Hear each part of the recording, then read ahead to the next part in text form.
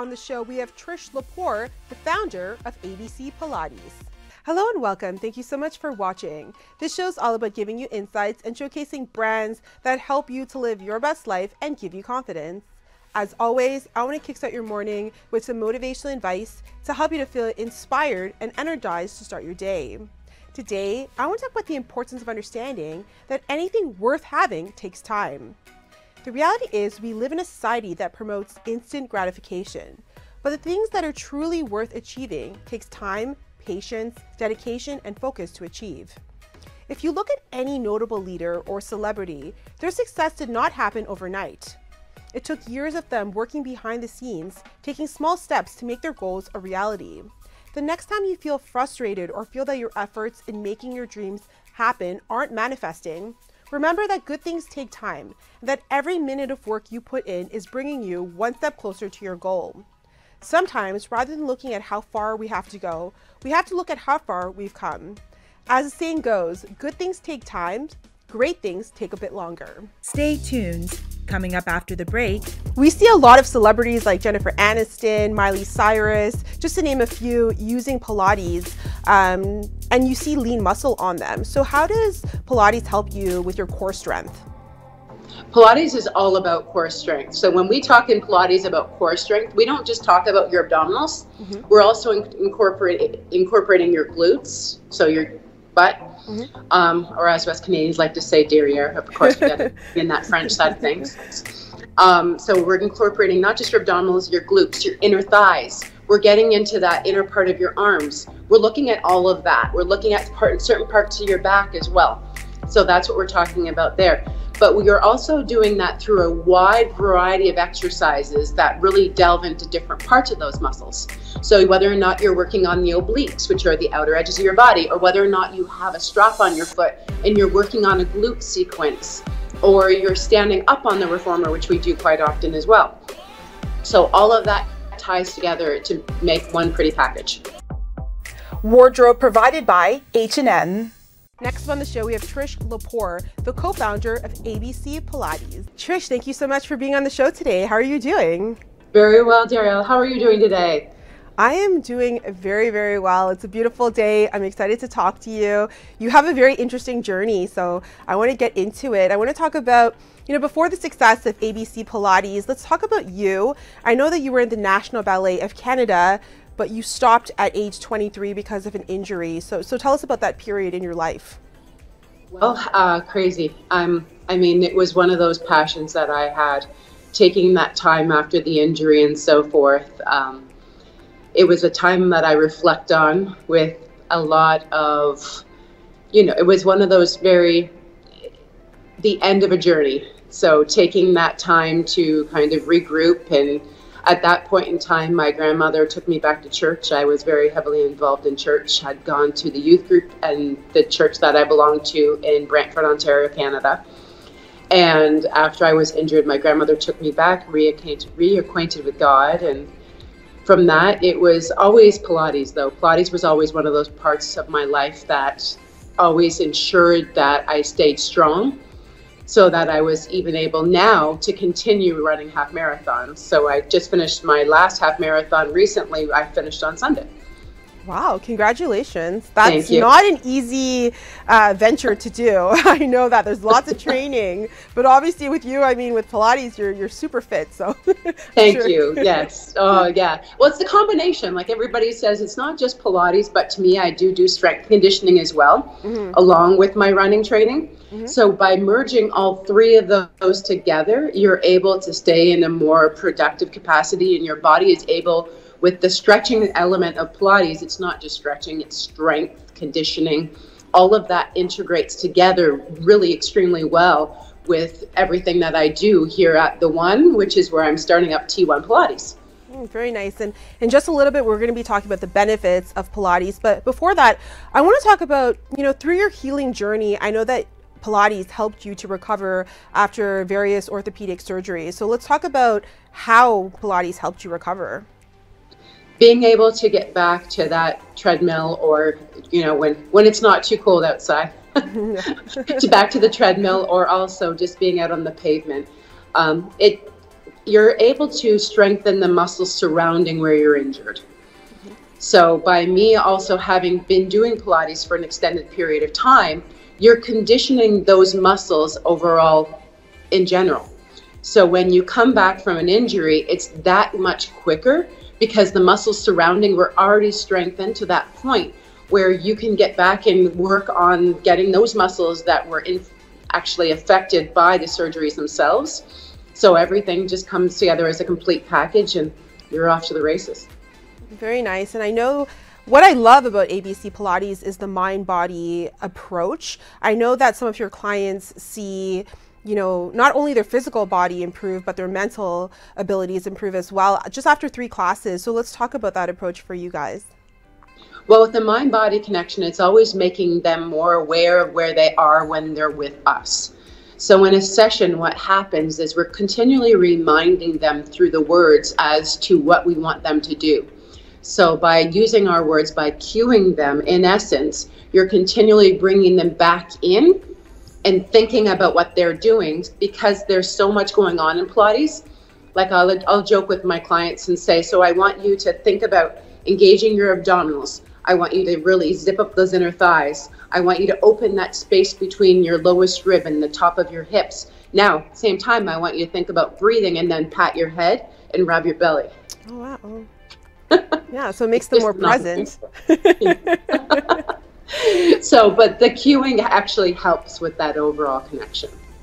Yeah, and Trisha, I want to talk about the benefits of Pilates. Is it for anyone? Because one thing I like to see is in your classes, I see there's people of all ages. So it's, it's pretty diverse. So let's talk about some of the benefits.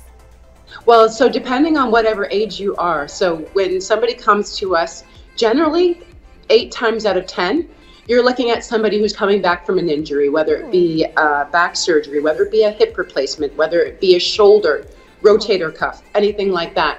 So you'll see that those people, they could be all ages. Like we have right now in Naples, a 19 year old tennis player who is coming back from ACL surgery.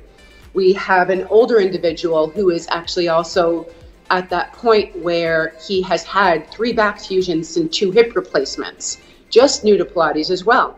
So you can see that covers that whole range from a 19 year old to a 75 year old. But I've also worked with figure skaters who are six, seven, eight years old because, again, you have to think about how that correlates on the ice. She wasn't even injured. Um, you know, it, it's all overall. You've got whether or not you have an injury or you're thinking about avoiding the potential for injury. It all comes into play. Yeah, that's actually very interesting because I never thought that Pilates would help you recover from an injury because I would think that it's so difficult. So I think that's a big misconception most people have. So just just to talk about that a little bit, how does Pilates help you to prevent injury or recover from an injury? So to prevent injury, what happens is you're conditioning the body in general. So mm-hmm. whether or not I have an elite athlete, for example, Olympic athletes I've trained, or professional football players or professional hockey players, you know, the range goes on. Coming from Brantford, Ontario, we tend to have a few hockey players in town. Um, you know, you look at what the individual is doing, what sport they're playing. So I always look at what their daily life looks like first. So if they're coming in and they're prehabilitating, which means they don't have any injuries right now, I look at what they generally do in the sport that they're playing and take that and correlate that with the exercises I'm customizing, meaning the program I customize to them, and looking at the exercises that they're doing in their session with me. So that way we're continually focusing on what they're looking to achieve so that they don't get injured. Mm-hmm. So for those that are coming back from an injury, I'm working on those muscles surrounding where they've had a surgery mm-hmm. or where they've had a herniated disc, that sort of thing.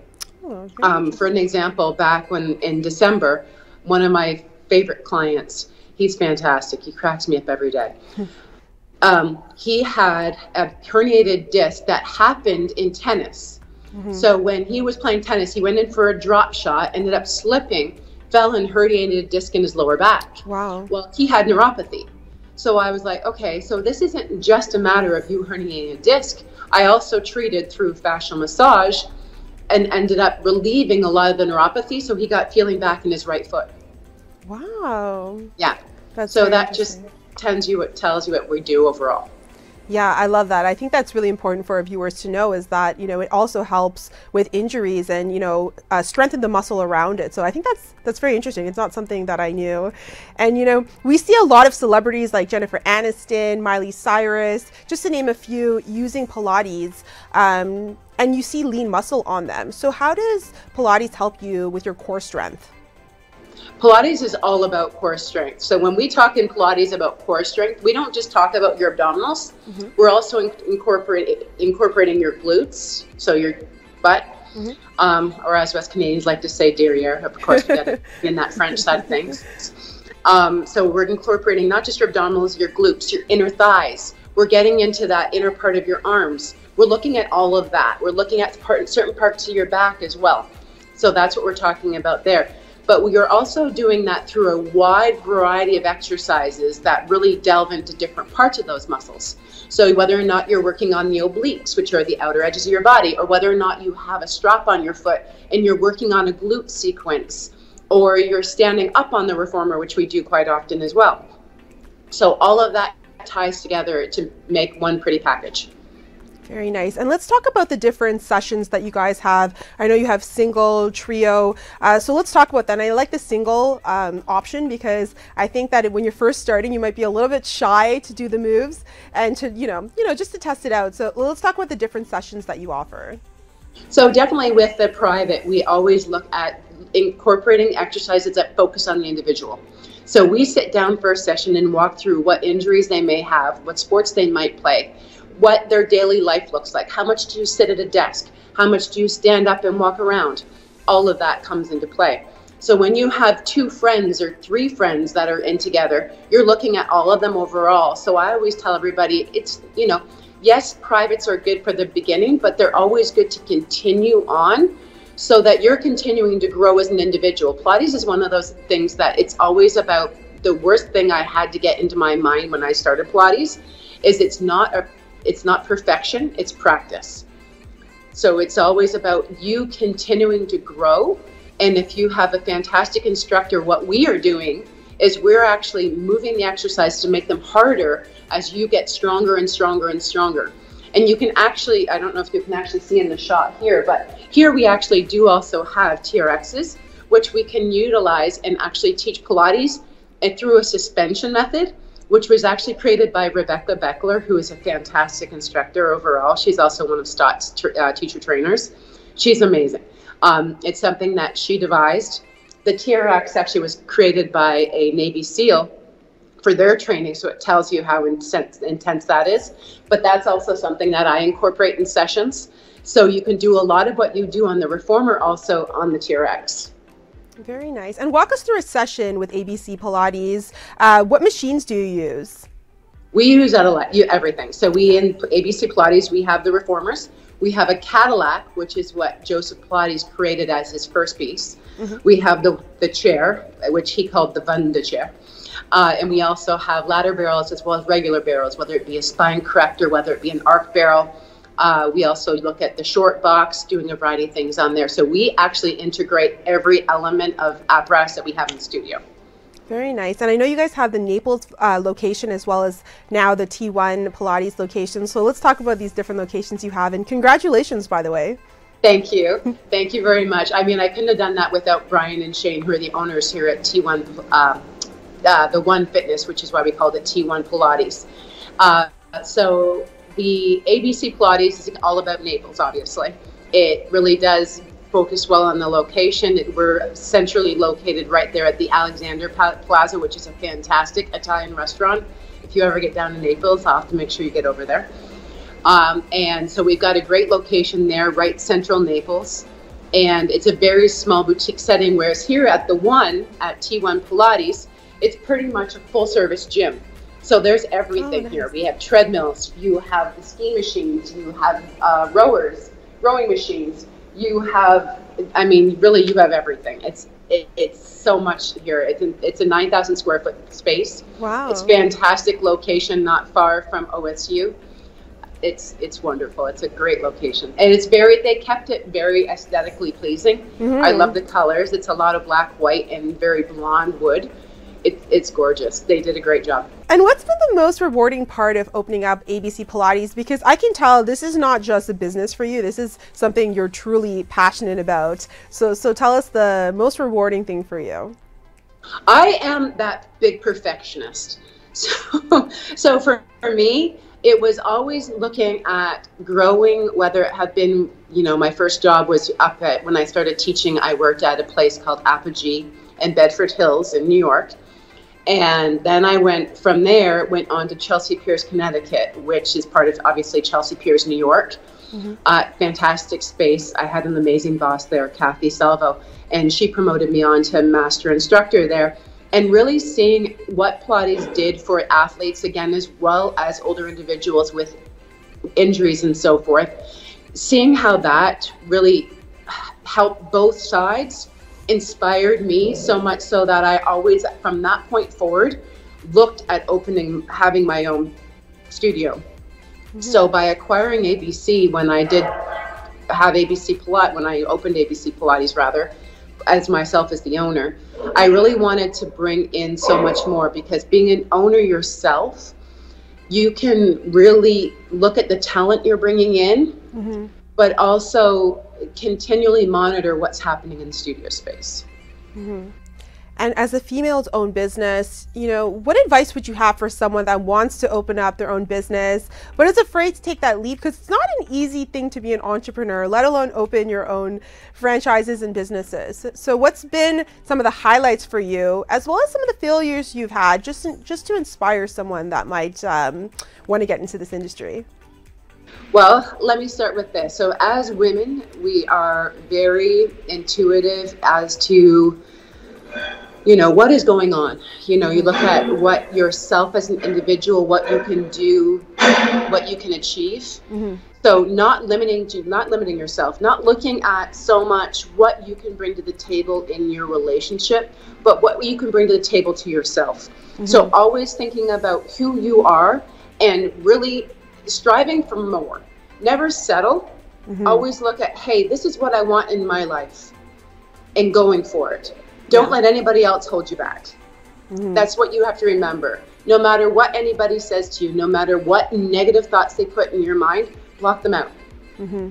It's all about you and staying true to who you are and in your inner being.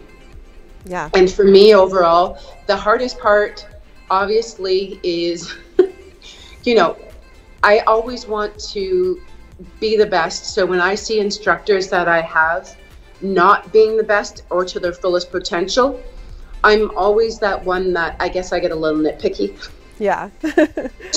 so I go over and I correct. So it's always trying to take that step back and realizing, hey, let's not address that right now. Let's table that for later. Mm-hmm. But there are times, obviously, when you think about safety wise, where I step in and I'm like, you know, let me help you here. Mm-hmm. Because mm-hmm. you just want to go and bring it to the table and really make sure that they are the best of who they are overall.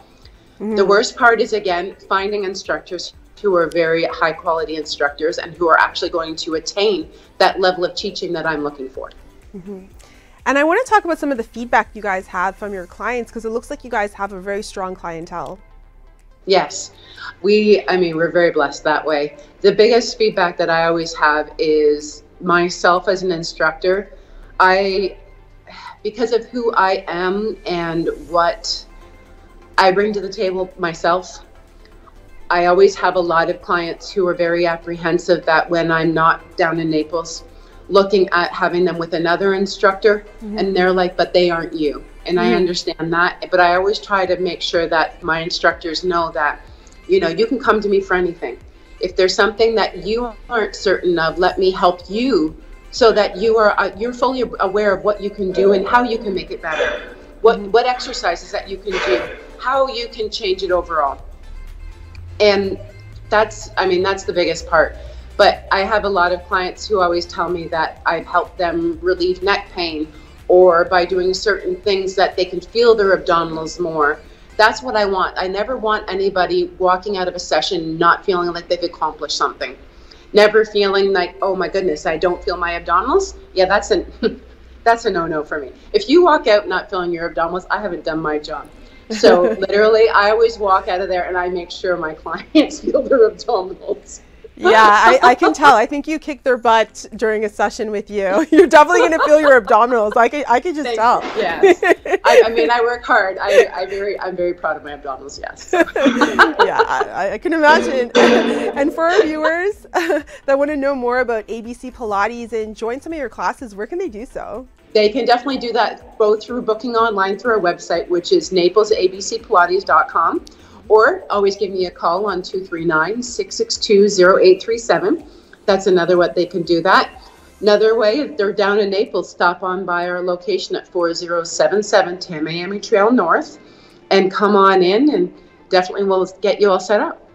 Very nice. And Trish, I do want to come to a session with you, so I'm going to hold you to that. you know, you, you know, you can count on that one. Trish, thank you so much for being on the show today. Congratulations on opening your second location and keep up the amazing work. Oh, thank you, Darriel. And thank you so much for having me today. I really appreciate it. Tag TV is available on Roku, Amazon Fire TV, Apple and Android TVs, as well as on Apple and Android phones. Watch us live through YouTube and Facebook.